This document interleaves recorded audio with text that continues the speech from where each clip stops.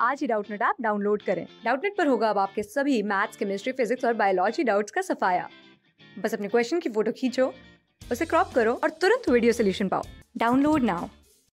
Hello student इस question में हमें क्या कह रहा है? The figure shows the plot of photo current versus the anode potential for photo sensitive surface for three different radiation which of the one following is correct तो सबसे पहले हमें ग्राफ दिया फ़ोटो करेंट और एनोड पोटेंशियल का। और ये जहाँ पे जहाँ पे फ़ोटो करेंट ज़ीरो होता है, उस पोटेंशियल को कहते हैं स्टॉपिंग पोटेंशियल या रिटार्डिंग पोटेंशियल और यहाँ एक चीज़ देखने वाली कि यहाँ पोटेंशियल ज़ीरो है, फिर भी करंट है।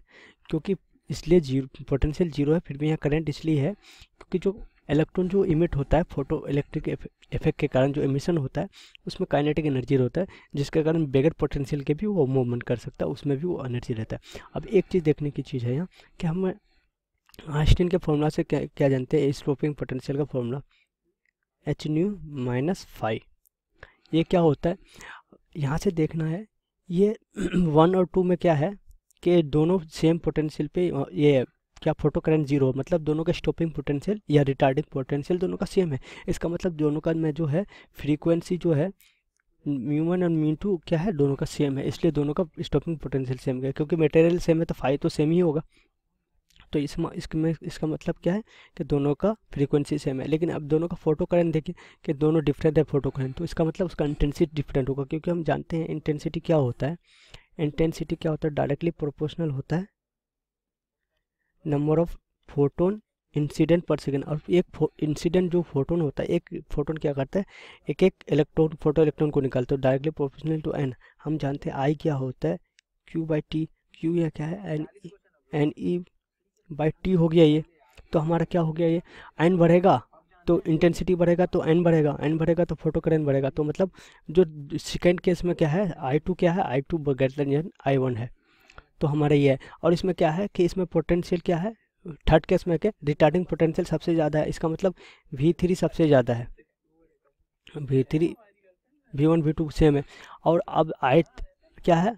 दोनों का जो फ़ोटो करंट जो है सेचुरेशन वाला करंट है आई थ्री और आई आई थ्री और आई टू सेम है, क्योंकि दोनों का फ़ोटो करंट सेम है, एक सेचुरेशन फ़ोटो करंट सेम है। तो हमें देखना है कि कौन सा रिलेशन है।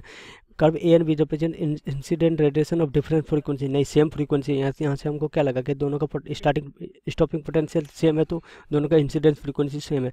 Curve A and B represent incident radiation of same frequency but different but different intensities different intensities option क्या है? हम क्या लिखे कि nu nu one and nu two बराबर है, लेकिन आई टू उसका ज़्यादा है आई वन से इंटेंसिटी सेकेंड कप का ज़्यादा है? फ़र्स्ट केस के। तो ये ऑप्शन बी मेरा सही होगा। अब सी में कहता है curve B and C represent incident radius of different frequency ये भी गलत है different same frequency curve B and C represent incident radiation of same frequency but having different incident intensity intensity दो और तीन का इंटेंसिटी सेम है but frequency क्या है? सेम नहीं है फ्रीक्वेंसी डिफरेंट है। तो ये भी गलत है। तो हमारा ऑप्शन क्या होगा? ऑप्शन बी करेक्ट आंसर हो गया हमारा।